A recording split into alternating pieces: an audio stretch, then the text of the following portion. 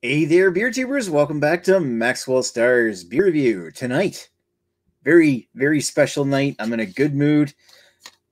If anybody doesn't know why, look up the news right now. Anyway, so speaking of which, I'm going to do, because I'm in a good mood, I'm going to do a very special celebration beer, which I've been saving for eight years. Eight years.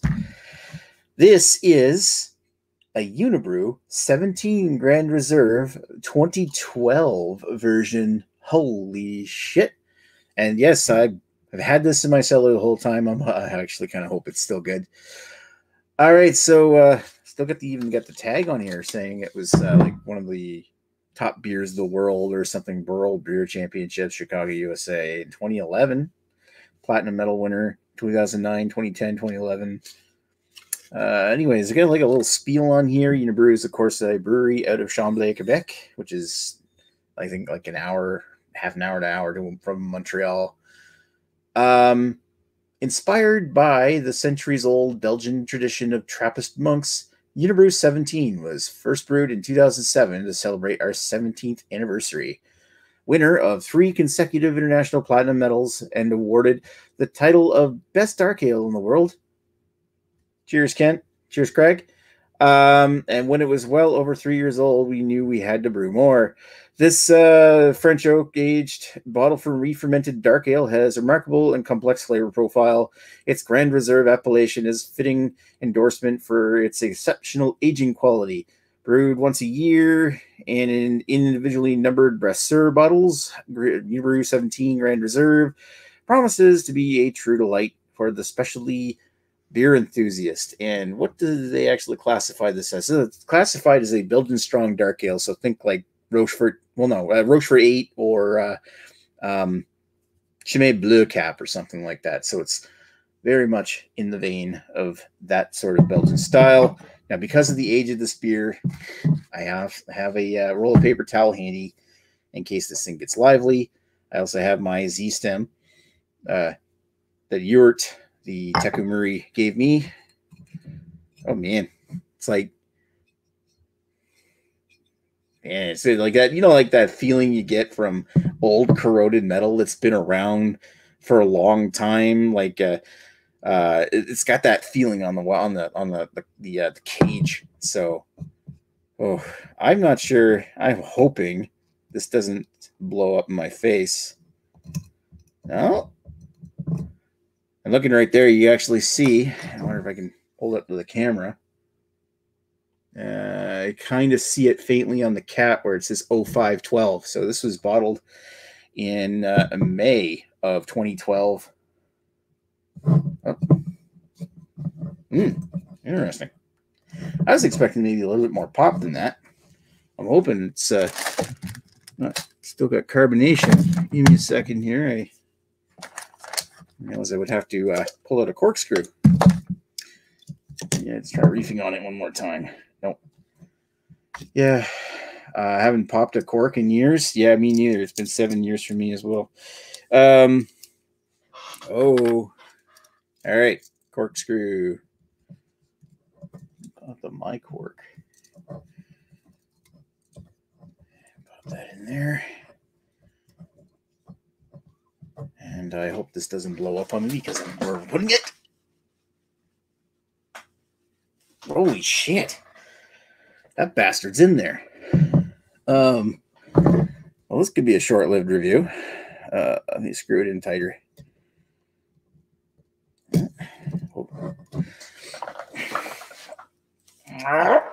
Oh, shit. Damn, sons. That was in there. Mm. Mm-mm. Hmm. So it's slightly vinous. I'm hoping it's not spoiled. So let's. uh I have heard hit or miss things. Although um, most recent reviews I've seen of the 2012 variation of this on Untappd have been pretty like good. So I'm optimistic that it's okay. But the uh, top of it smells a little bit funky. You know what I'm gonna do? I'm gonna take a second glass, pour the little U at the top off so that I get the good stuff in the bottom. Where that out Well, it does have carbonation. That's a good sign. Ooh, beautiful color on it. Nice golden. Well, not golden. Um, nice rich amber brown kind of color with a brown head, tan brown head. Hey, Rod. Cheers, man. How you doing? Tell me, let us know what you're drinking. Same to you, Craig. What are you drinking? Yeah, looking at that. Um, I gotta say that it doesn't look as dark as like other other uh, other uh, beers of its style. If you're calling this a uh, strong dark ale, uh, build a strong dark ale, it's not as dark as like I would expect from a Chimay Blue or a uh, um, uh, Rochefort Eight that we just did on beer analysis earlier this week. It looks nice though. Um, I will give it credit for that. It definitely looks like a very inviting Belgian styled brew. So let's give it a whiff. Ooh. So there's some tartness there. Again, that kind of makes me uh, worried about whether this kept or not. It's got that kind of like almost uh, vinous character. Underneath that, though, I'm getting like notes of uh, dark fruits and and um, touch woody, chocolate. Very, very mellow Mmm, it's actually kind of nice. It smells like kind of like raisins and a hint of cinnamon. Oh, I say it's high time to put her down the hatch. Cheers. Oh, God, yes. Oh, my fuck, that held up beautifully. So, looking at the comments here, looks like Dan is there drinking a 2018 Cafe del Bastardo tonight. Awesome. Rajay is saying drinking a Hi-Wire oak chocolate macaroon 10W40. Ooh, that sounds interesting. Oh, yeah. That is smooth. Full of dark fruits. Like raisins, plums, figs. It's got light, mellow amount of spice and actually a very potent amount of spice considering this thing is eight years old. Like, and I am impressed at how spicy this is for being that aged of a beer. It's uh, also peppery. And it's got some nice drying oak tannin qualities.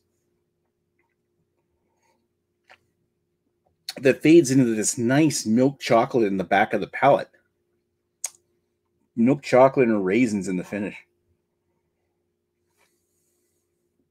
Wow. And usually, if you drink a beer that was it's aged, but it, it probably shouldn't have been aged, you kind of get this weird off uh kind of balsamic kind of flavor. This doesn't have that. This isn't there. This aged perfectly. What's the percentage on this anyway? 10%. Maybe that's part of the reason. But this beer tastes like, oh, wow, this is actually really, really good. Like, I've had these for eight years. One of the biggest reasons I never got around to drinking them. Well, for one, this is this is a beer I bought before my late fiance passed, but this is uh so I've been keeping it. But uh it's kind of been one where okay, it was aged on oak, and I heard saw some posts a while ago online saying that oh they didn't age well because they went they went bad. I'm like, okay, so it's sitting there. I don't know, is it going to be any good? Hence having paper towel here, but uh, there's no worries at all. This thing actually aged gorgeously. Um, this is this is one of the best beers I've had this year, and it's a hell of a night to drink this. Like it comes to the the flavors and everything you want from a Belgian dark, strong Belgian dark ale. This is, I say, this is even better than a Rochefort eight. Um, now I, I don't know if I would say it's better than like a Rochefort ten, but uh, overall, that's got a that packs a wallop of good flavors. There's some nice like like bubblegummy cinnamon grape grapey flavors in the back as well. A touch of brine Oh, that is just beautiful. Alrighty, so let me get to the comments for you to my rating. Um, Uh, Rajay says, Cheers again, Craig, brother. Cheers, Dan. Dan says, I think we're all celebrating tonight. You're damn fucking right we are. Maybe, lol. PA Brew News, the man of the hour, Pennsylvania Brew News, Preer's brother. Cheers there, Paul. Uh, cheers, PA, blah, blah, blah. Dylan, can you show the bottle again? Dylan, it is a Unibroue Grand Reserve 17 from the year 2012. Ooh, beautiful bottle. And Paul says, I'm driving through Kentucky right now, texting as I go, half in the bag, firing a gum out the window, but it's okay. I have a mask on. So how, how are you firing a gum at the window when you have a mask on? Doesn't like get stuck in the mask and then you get that like that gum stuck in your beard and you have to take the fucking mask off and it's like because it's stuck in your beard. Well, we'll uh, pop a beer hall video after I get back to the hotel. Awesome, brother. I look forward to it. All right, so Unibroue Grand Reserve 17. Beautiful beer. Um, uh, what more can I say? I, I there's two things that are amazing about it. Not only is it the taste amazing, but it also held up extremely well for its age. Like I wasn't expect I was expecting to maybe a bit mellowed off a bit too much considering it's eight years old. But this held up gorgeously.